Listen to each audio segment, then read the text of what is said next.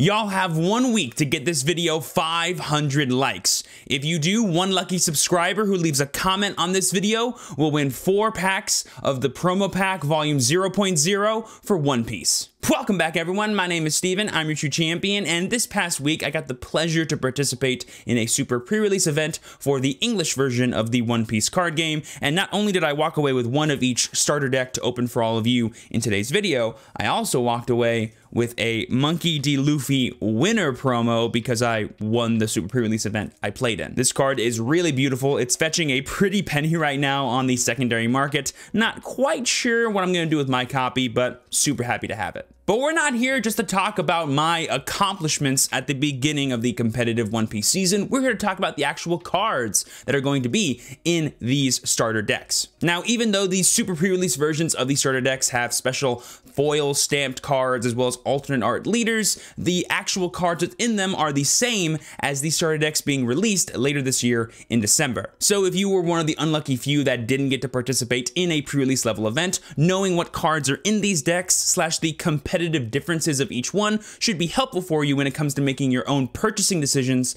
later this year in December when the official decks come out. So yeah, we're to open all four of these starter decks, talk about which ones I like the most and why, and I'll give you guys some recommendations on how you should purchase later this year if you don't already have your very own starter decks. With all that being said, let's go ahead, crack open these starter decks and see what's inside. All right, y'all, here we are at the tabletop setup. I have the four starter decks for One Piece in front of me. I have the Straw Hat Crew red starter deck, the worst generation green starter deck, the blue seven warlords of the sea starter deck, and the purple Animal Kingdom Pirates starter deck. Quick reminder, if you guys want to enter the giveaway for a playset of volume 0.0 promo packs, all I gotta do is leave a like on this video, subscribe to the channel, and comment down below which of these decks is your favorite and why. With all that being said, let's go ahead and crack these bad boys open, starting with the Straw Hat Crew starter deck. Before I actually open this deck, I want to talk a little bit more about the contents and something really special that I noticed about these starter decks, or I guess strange that I noticed. Uh, these are all first edition special releases of these starter decks that are not going to be released again uh, as long as the game exists. Uh, the cards in them are exactly the same, like the names and the effects, as the ones releasing in the official release in December December, but uh, they got special hot stamped versions of cards, as well as an alternate art promo leader that you won't see anywhere else. And the one surprising thing is how small the deck is. Like, all that's in here is the deck, the 10 card Don deck, and the leader card. Uh, for a size comparison of other Bandai products, this is an American starter deck or an English starter deck for Digimon, and that is the size comparison. The only thing in here is the cards and nothing else. Uh, very similar to the original Japanese version of Digimon starter decks. This is the original Gaia Red starter deck from 2020. There you go. These, this is more similar. So good to see them trying to kind of keep more classic design rather than Americanize and big and everything. All right, let's go ahead get this bad boy open. Whoop. That's it. Empty box. Slide the plastic off. And we've got our first little glimpse at the cards in the starter decks. You can see here, if the camera will focus, that every single card has this super pre-release gold stamp on it. And the first 10 cards are going to be the Don that you use in your Don deck, which lets you pay for the costs of your cards. Super simple, nothing crazy. But this this is what makes these starter decks, in my opinion, super special. That is the alternate art version of these leaders. For those that don't know, I actually was a part of the Anime Expo demo team for One Piece this July. And in the main exhibit hall, they actually had example versions of what these starter decks looked like in like a little kiosk little window thing and they never told us like where we were going to get these leaders but i always assumed it was going to be like box toppers or something special never knew it was going to be during the actual pre-release of this game. Anyway, let's go on to the actual cards here. We have the Monkey D. Luffy leader. All of these leaders have 5,000 power and a life value of 5, meaning you have 5 cards in your life stack at the beginning of every game. We got the super pre-release stamp, the beautiful art, and his effect is activate main once per turn. Give this leader one of your or one of your characters one rested Don card. So from your cost area, you can take a Don that's rested and place it underneath the card, giving the plus 1000 boost or even triggering any Don X type effects. The red deck, in my opinion, is probably the worst ratioed starter deck in terms of like the actual numbers of cards in here, but I really enjoy the playstyle of like optimizing how you use your resources, like playing a two drop and then taking one of those cards that you tap to pay the cost and placing it underneath to make it more powerful. Really resourceful, really efficient. I love to see it. So that's the leader card. I'll put it right here. And the card we have immediately after is another big one, the five drop I think this is like the SR style of Luffy, so like a higher version of rarity. Got the pre-release stamp, 6,000 power, 5 cost to play. He's got Rush and the Don X2 effect. When attacking, your opponent cannot activate blocker during this battle. So in theory, you pay 5, you drop this guy, you instantly attack. If you have 2 Don underneath him, he's 8,000 unblockable. Really hard to stop and a great late game finisher. You get 2 copies of this card. Up next, we have the three drop Roronoa Zoro. I believe that comes in at another two copies. He has the Don X1 effect. This character gains plus 1000 power. He has a base of five, and this is not just during your turn. So that means on both turns, He's 6,000 if he has a Don underneath him. Really powerful card. Uh, there's going to be a Rush version of Zoro that comes out in the first booster. That's also going to be crazy strong. So that's it for like the higher rarity version of cards in the red starter. Up next, we got some lower drops here. We got four copies of Usopp, four copies of the one drop vanilla Carpo or Karoo, sorry, and then four copies of the two drop Sanji. So the Usopp is a trigger card that plays when he's checked in the life, and Don X2, when attacking, your opponent cannot activate a blocker that has 5,000 or more power during this battle. So against like green decks or even purple decks that have really powerful blockers, you can kind of like cheese past them and maybe get that final swing in for game. Uh, Karoo, like I said, is just a one drop vanilla 3000. Uh, because you have so many ways to put Don on things in this deck, it's really easy to make him powerful enough to deal damage or even KO other characters. And then finally, we have Sanji, personally my favorite two drop in this deck. He has the Don X2 effect to give him rush. So if you have Luffy plus the one drop Nami, which is essentially the same effect as Luffy. You play this guy, you tap the two Don, you, you put two, both Don underneath him, and now he has Rush, 6,000 power, swings at your opponent. Really nice, just like surprise attack out of nowhere. Really good aggressive tool for this deck. Up next, we got some higher drop cards in Jinbei, some more low drop consistency cards in Tony Tony Chopper, the blocker for this deck. And then we have four copies of Nami, personally the strongest card, uh, I think, in this deck, because it's essentially another copy of your Luffy leader, which just, again, adds to that resourceful nature of this deck, being able to constantly put down on things the second you play them, so that way you can maximize your board presence and your aggression. Like I said, uh, Chopper is just a one-drop blocker, really efficient, saves you, protects things you have in play that are rested from being swung at. And then Jinbei is a really interesting card. So he doesn't have a counter, same as the Sanji and same same as the Zoro, which, you know, makes him a little bit worse than other cards, but his effect is actually really cool. Uh, Don X1, when attacking your leader or one of your characters other than this card, gains power plus 1000 during that turn. So again, just makes it harder and harder for your opponent to actually counter out or even block the attacks that you have in play. Forces a lot of damage through. You know, just give him one, he swings six, give something else 1k. You got like multiple uses out of a single Don in terms of giving power. Up next, we got four copies of the three drop Nico Robin. She's a 5k vanilla we have two, four copies of the two drop 4K vanilla in Vivi, and then four copies of the four drop vanilla in Franky. So these cards basically scale up with their Don cost. Two gives you four, three gives you five, four gives you six. Uh, in terms of the most useful one of these, I would say Franky's actually the best because if you just put a single Don on him, that makes him 7,000, which usually forces two cards out of your opponent to counter out of, a 2,000 counter and a 1,000 counter, maybe more. Uh, and then it goes Nico because she doesn't require any extra resources just to get poke damage in against leaders or even against the normal range of character power. Uh, Vivi is the only one that you have to actually put Don on to do anything unless your opponent rests really weak characters, which if you're not playing against green, they don't really do. And finally, rounding off the characters for this starter deck, we have the biggest heartbreak out of any of the One Piece decks.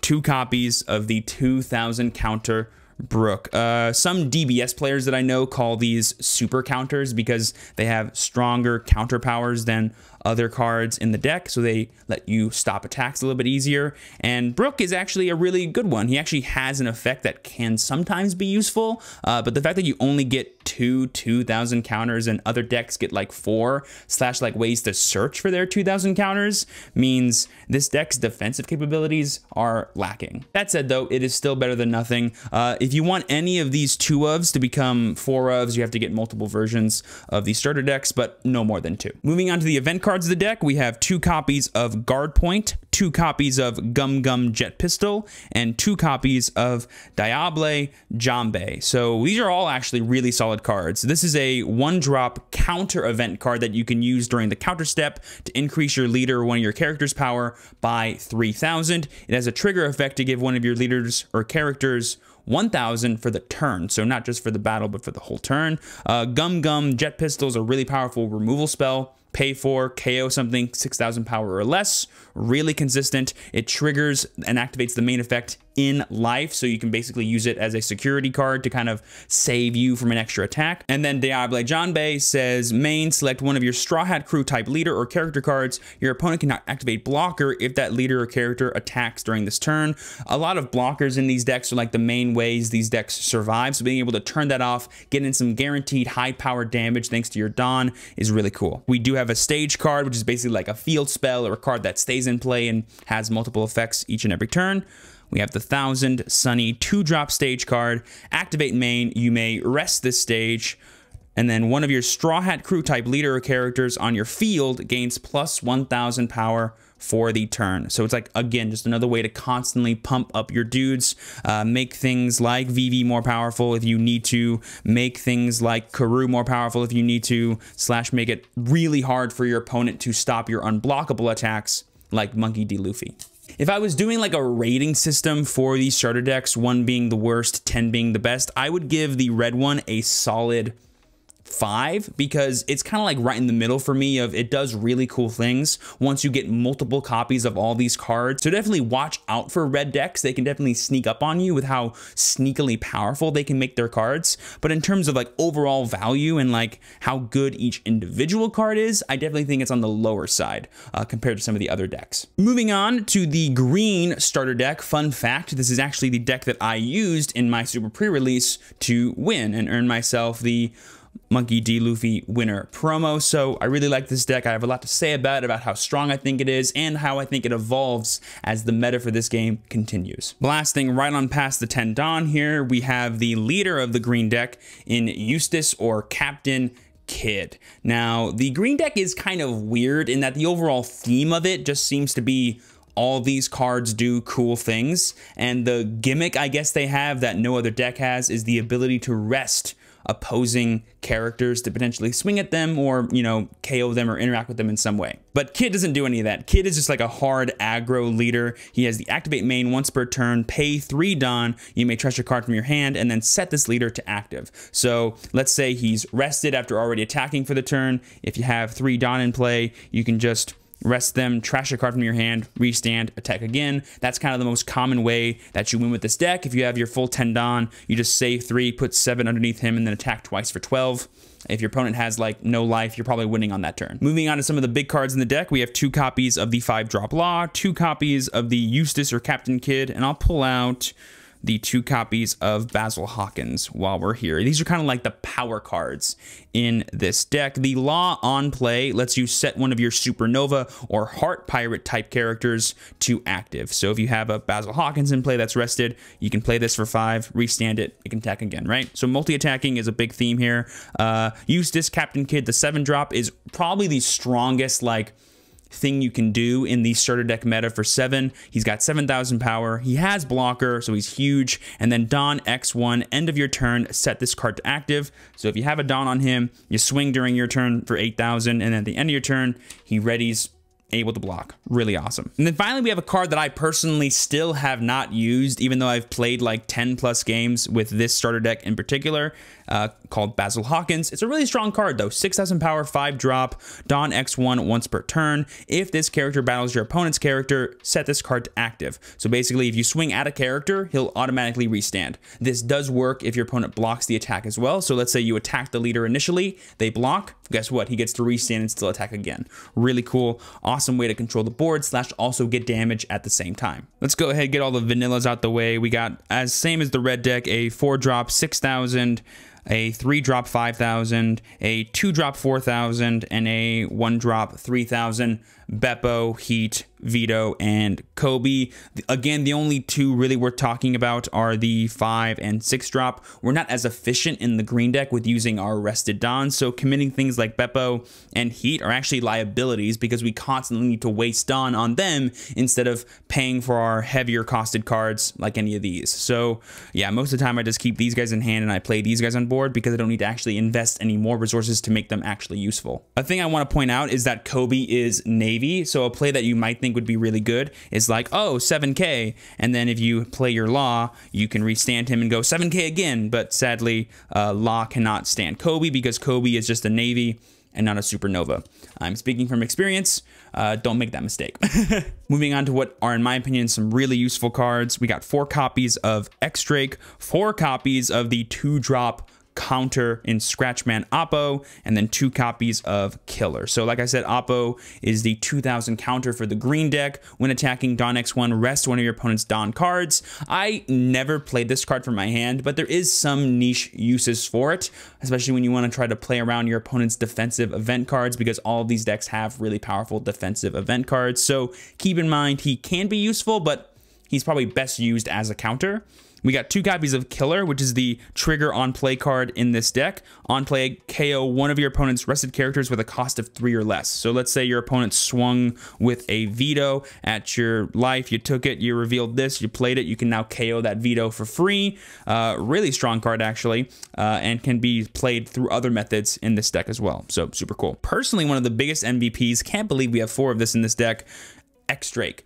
4 cost, 5000 power, Don X1, your turn. If this character is rested, your supernovas or navy type leaders and characters gain plus 1000. So basically, by using one Don on him and swinging, we effectively give one Don to everything we have in play. And he's already swinging for 7k, which again is a really good magic number in One Piece. Uh, moving on to the cheaper cards, we got two copies of Urog, four copies of the one drop blocker Beige, and then finally rounding off the characters, the absolute strongest one drop period in One Piece jewelry Bonney.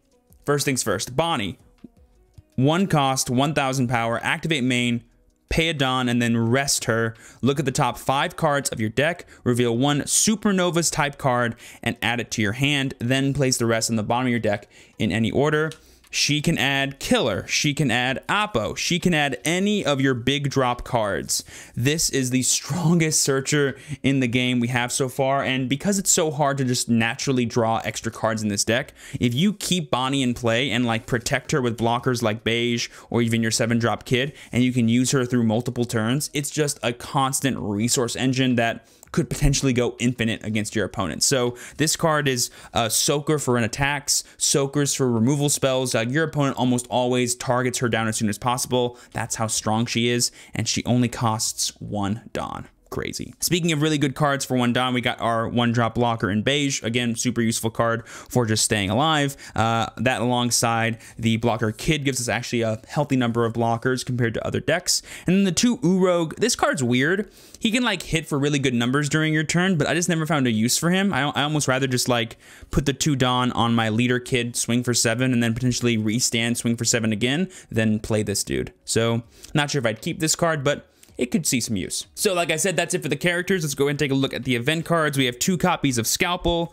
we have four copies of Repel, and then we have two copies of Straw Sword. So Scalpel, similar to uh, Guard Point, is the one drop counter for the deck, but instead of giving 3,000, it gives us 2,000 and lets us set one of our Dons to active. So essentially, it's a free counter gain 2000 really cool uh, next we got repel which is counter pay to get 4,000 power, making our dude 9,000 on defense. Again, another, another, really good magic number to hit is 9,000 because other decks have cards just like this. Uh, and then similar to Scalpel, basically it only costs one instead of two. So if you have the two Don, you pay it and then you put one to active afterwards. So you can like chain like two of these together if you only have two Don. And then finally we have Straw Sword, uh, two drop activate main, rest one of your opponent's characters. Uh, pretty simple. You can like rest a blocker, go in for game, rest an annoying card, then swing at it with one of your powerful dudes, and then trigger effect, play one Supernovas type card with cost two or less from your hand. Really cool. Honestly, besides playing beige or maybe the occasional free Apoo that I'm going to use next turn to rest my opponent's cards, there's really no good targets in this deck. I think a lot of people in the community would say this is the best starter deck out of the box, and I would have to agree. The overall card quality is just crazy. The ratios of cards you get in here for Bonney, for Apoo, for Drake is kind of stupid, but once you add in the potential for multiple starter decks as well as promo cards, I do think Kid kind of falls off until set one comes out. So I'm going to give this starter deck a solid eight. Up next, we have the blue seven Warlords of the Sea starter deck, my personal favorite out of all of them. And the reason for that is in my heart of hearts, no matter what card game I play, I'm a control player, and nothing exemplifies the control playstyle more than the Crocodile deck. Uh, and here's his effect. Activate main, once per turn, Don minus four, return one character with a cost of five or less to the owner's hand. So that means you take four Don from anywhere in the board, put it back in the Don deck, and then you can activate that effect. So it's a way to just bounce cards on your board or your opponent's board back to the hand. You can reuse powerful on play effects. You can also just get rid of your opponent's threats and make them wait another turn before they can actually start using them because in this game there is summoning sickness. So if you play a character, it can't attack immediately, it has to wait one more turn. Doing this essentially skips two turns worth of attacks from one character. And yeah, that's kind of like what the whole deck is like. It has a lot of blockers in here to give you a really good defensive game plan and a lot of annoying interactive removal type effects just to mess with your opponent the entire time. Starting off with some of the big drops, we got two copies of the five drop Crocodile, two copies of the seven drop Doflamingo, and I think I'll pull out another really good card in two copies of Gecko Moria. So like I said, this deck is themed after the seven Warlords of the Sea, so you're going to see a lot of the really big bad guys in this deck. Uh, the five drop Croc Is a blocker with 6,000 power, and the Don X1 on block effect, so when he blocks, place one character with a cost of two or less to the bottom of your owner's deck. The fact that it goes to the bottom is super huge. Not being able to give your opponent any counter power for your following turn's offense is really neat, and you're doing it while you're defending, so you're basically stopping an attack and making some of your next attacks stronger. The 7 drop Don Quixote Doflamingo, though, is actually the best card in this deck. 7 drop, 7000 power on play, return a character with a cost of 7 or less to the owner's hand. Remember when I said that the green Kid starter deck was one of the best ones and how one of the best cards was the 7 drop Kid? Well, cards like Doflamingo basically make 7 drop Kid a bad investment because you you know, pay seven just to instantly pay seven again on the following turn if you do want to keep that card in play. Uh, and he doesn't have counter either, so you're basically giving your opponent a dead card in their hand that wasted seven Don. So I really love Doflamingo, not for just how strong he is, but for the actual removal presence he does. And then finally, we have the four drop Gecko Moria. He basically on play adds a seven Warlords back to your hand, which just helps you keep up hand advantage while you're playing cards to aggress your opponent. So basically, while you're removing all their cards, you can maintain a really solid kind of hand advantage as well as board advantage. Moving on, we got the vanillas again. We got the 4-drop 6k Pacifista, the 3-drop 5k Edward Weevil, the 1-drop 3000 Buggy, and then the 2-drop 4000 Jinbei. Same, 4 is the best, 3's alright. These can kind of be useful, but it really depends on the board state. And similar to the red starter deck, the blue one does have some ratio issues, like only two copies of Dracule Mihawk Your 2000 counter, and two copies of Sentomaru, the probable best card in your deck, and then two copies of Marshall D. Teach, the four drop on play return a character with cost three or less to the owner's hand. Like I said, out of all these cards, Sentomaru is your best one. Three drop, 4000 power, Don X1, activate main once per turn, pay two, and just straight up play a pacifista from your deck. This is without a doubt the strongest, like, plus one engine in any of these decks because you're getting a 6,000 body, which you can easily turn into a 7,000 body and pressure your opponent.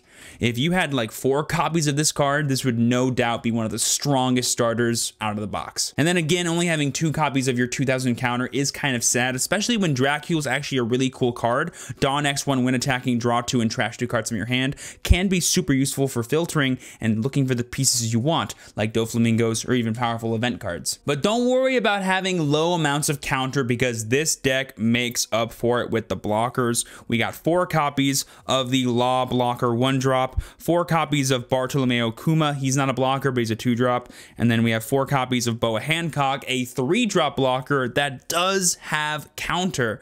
I'm pretty sure this is one of the only cards that has blocker and has counter. Yeah, even the five drop Crocodile doesn't even have counter. So that's actually really, really useful. And trigger play this card so you can just like get a blocker when taking life damage so you can save yourself from potential lethal just with this card. Really powerful. Kuma's a little bit underwhelming. to drop 3000. Look at the top three cards of your deck and then rearrange them in any order. It can help with consistency, but the fact that you have to commit so much Don to it to actually make it a threat is much to be desired.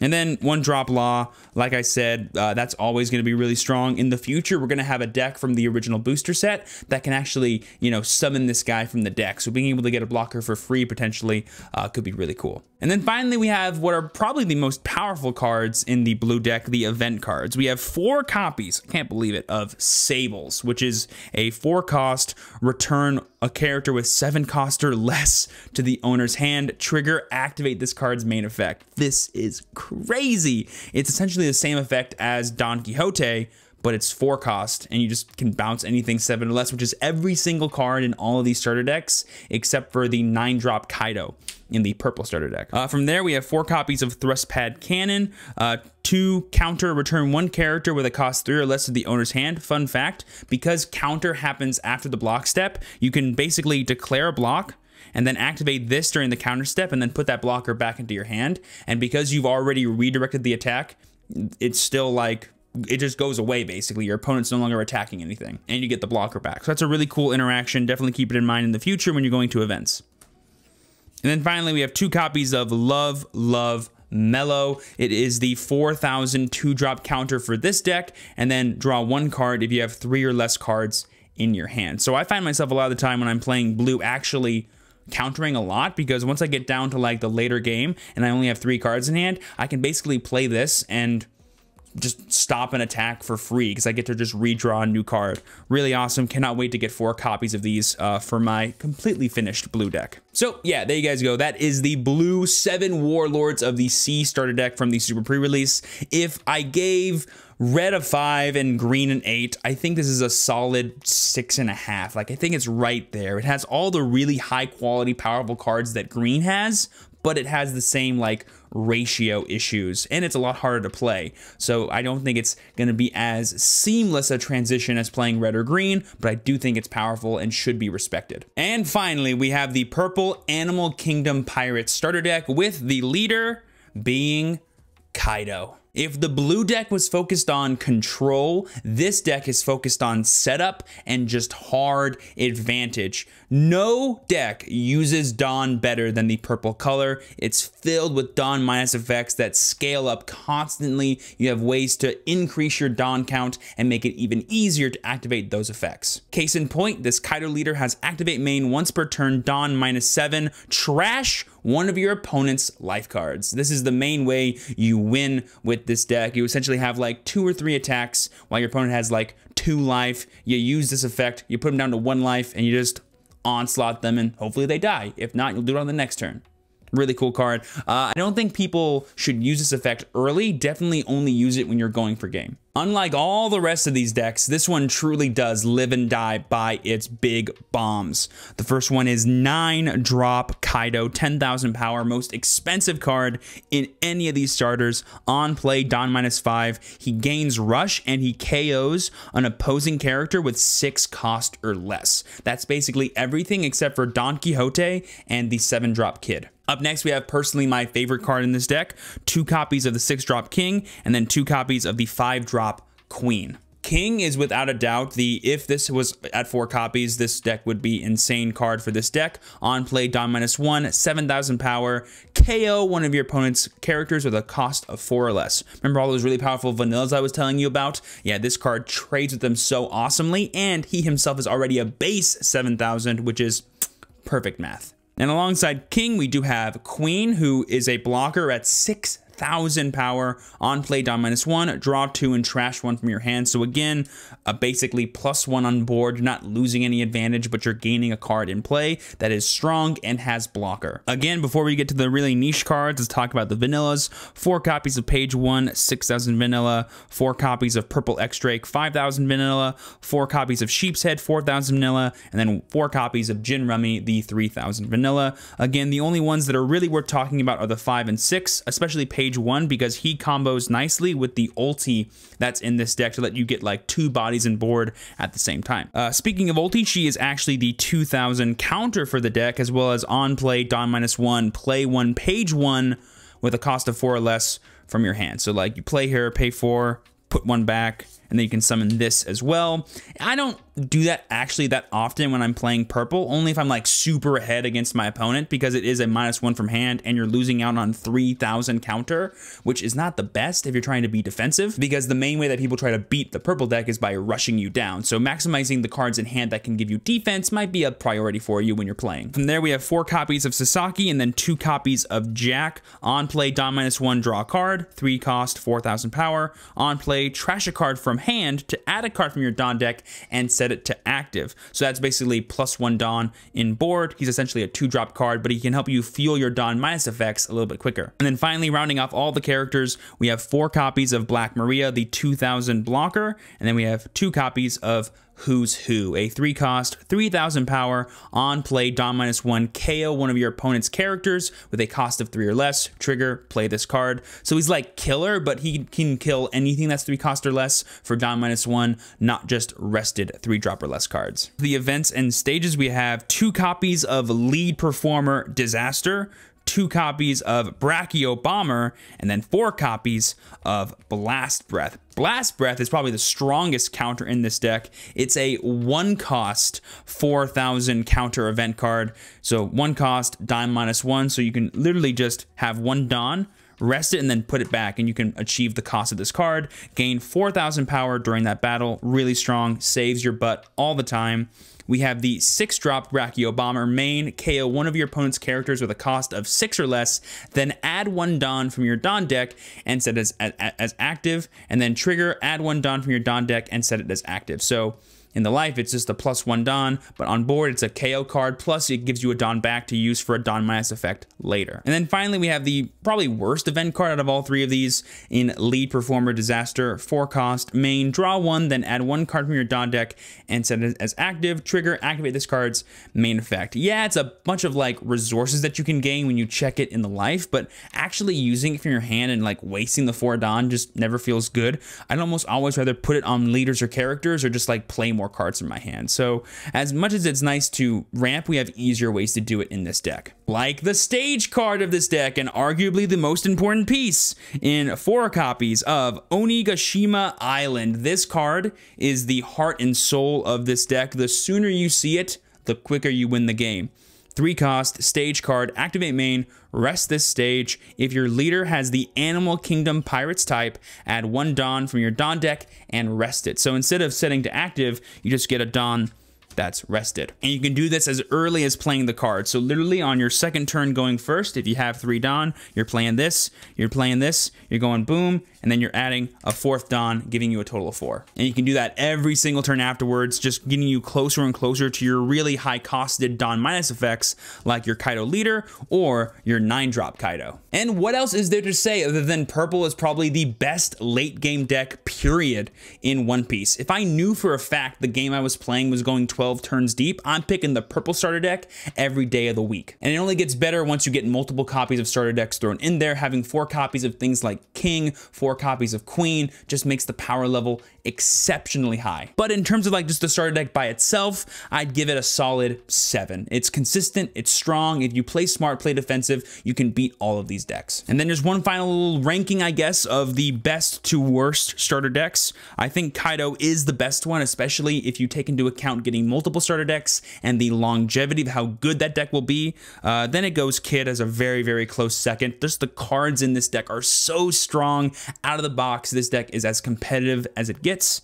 Uh, then we got Crocodile. I just love having control. I love interacting with my opponent's board, and this deck does it the best. And then finally, we got Luffy. I think the effects are cute. I think it's really powerful and should be respected, but in terms of like overall power level, it's definitely the weakest. And boom, there you guys go. That does it for the opening of the One Piece Super pre-release starter decks. Again, I want to recommend if you don't already have one of these or plan on playing in a pre-release event, don't feel like you have to buy them so you can participate in the deck limited series. We're only two months away from the official release, and these decks are going to have the exact same cards at much cheaper MSRPs in December. But if you really want to start playing One Piece, I recommend getting the purple starter deck as soon as possible. With all that being said, I've been your true champion, Steven. Be sure to leave a like and subscribe. Peace.